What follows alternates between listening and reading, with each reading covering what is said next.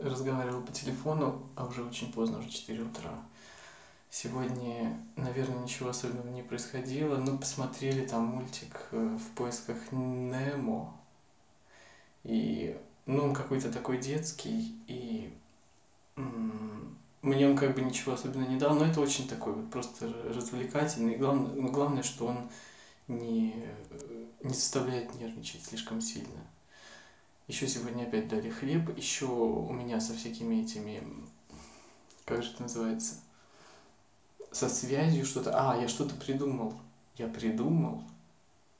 Но я не знаю, правда, получится у меня или нет, и стоит ли это говорить в дневнике, но я как-то забываю об этом рассказать, что я придумал э, купить кофр для цифрового пианино чтобы его можно было перевозить. Единственное, что я хотел, чтобы там были какие-нибудь колеса такие более надежные, потому что мне надо, по крайней мере, в одном месте я хотел как бы по грязи возить этот кофр.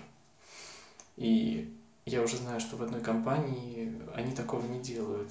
И я, в общем, сегодня начал обращаться в другие компании.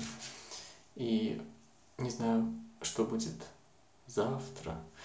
А еще я с телефоном так и не могу никак выяснить, что у меня происходит, потому что до 17 ноября у меня на почте лежат мои сим-карты.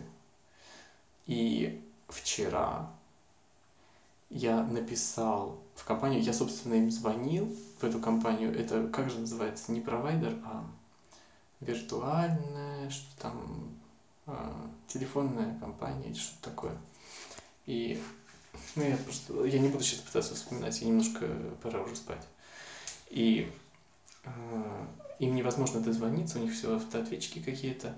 А э, когда я им написал, там какая-то форма была, наверное, или, может, просто письмо, и мне они выслали какие-то непонятные автоматические формы тоже, и написали, что мы так заняты, у нас так много людей, э, клиентов, а сотрудников, видимо, нет. И а, суть в том, что чтобы остались там карточки на почте подольше, нужно, чтобы либо я обратился на почту каким-то образом, ну, видимо, пришел, потому что я же им позвонил на почту.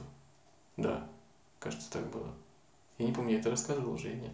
И либо отправитель, чтобы попросил продлить срок хранения вот этого письма.